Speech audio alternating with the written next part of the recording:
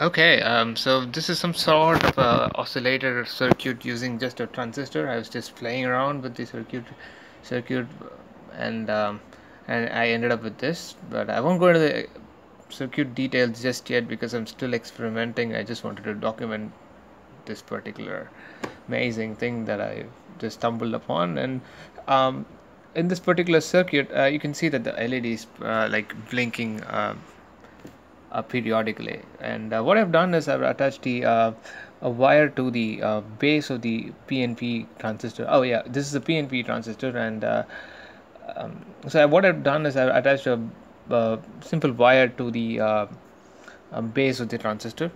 And something amazing happens when I, if you go and touch this wire like for instance look at this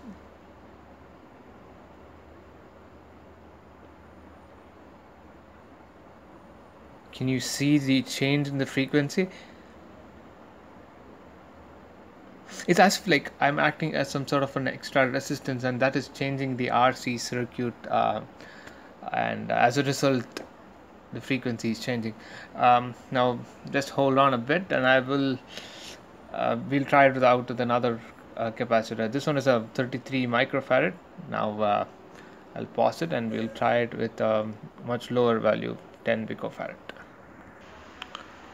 Okay, so uh, yeah, I've, uh, this is the uh, 10 microfarad capacitor, and you can visually see now before we can compare the results of the uh, 33 microfarad, and you can see that the um, LED is blinking quite faster than um, the 33 microfarad. And if I go touch my hand with it, the frequency definitely increases. Uh, now I don't know the technical I've not gone into the technical details but uh, I thought this was cool. The simple circuitry for a transistor based oscillator. Bye bye